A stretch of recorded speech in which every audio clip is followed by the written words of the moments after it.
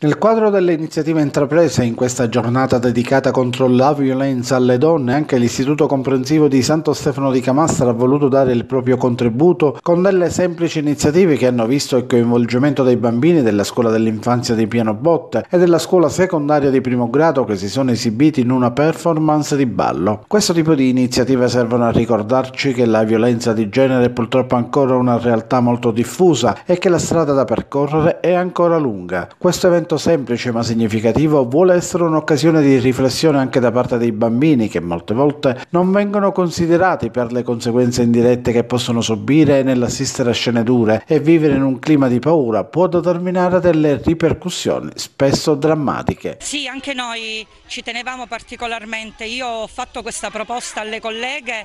di partecipare, di, prendere, di aderire a questa iniziativa e le colleghe sono state tutte entusiaste. Noi siamo tutte donne ma siamo soprattutto soprattutto delle educatrici. E non potevamo non cominciare a instillare nella, nel cuore dei nostri bambini dei sani principi, quale possa essere quello della, della mancata violenza sempre e comunque soprattutto nei confronti delle donne quindi ci tenevamo particolarmente ad essere presenti. Abbiamo accolto con grande eh, entusiasmo, con grande passione gli alunni della scuola secondaria di primo grado, anche perché buona parte di questi alunni sono stati alunni nostri e quindi c'è anche un legame affettivo che ci lega a loro.